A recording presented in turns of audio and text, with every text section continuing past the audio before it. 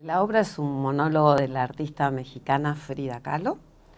Eh, lo esencial de la obra para nosotros es el cuestionamiento que ella hace, que nos hace todo el tiempo al, trabajarla, al haberla estudiado, el cuestionamiento que ella hace de su propia vida, eh, y no solo de una sola etapa ni de un solo tema sino que toda su vida eh, pudo seguir adelante por la irreverencia de ella frente a los hechos que le ocurrieron y eso nos hace descubrir a Frida como mujer, como artista, como ícono eh, y es eh, sumamente interesante trabajarla. La obra es del dramaturgo mexicano Humberto Robles, contemporáneo. Humberto, hemos tenido el aval de Humberto también, este, de su obra y es, este, es, exquisita porque te lleva, te recorre toda la vida de Frida.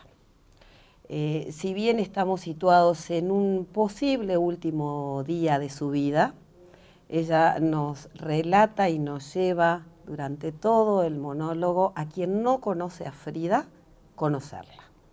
Entonces eso creo que es lo más eh, atrapante para el público, porque no es necesario tener una, la temática clara ni, ni tener este, el conocimiento en 100% de este personaje, de esta persona, que es un desafío, está como a la vista, digamos, no tengo mucho parecido con Frida en lo exterior, ¿verdad?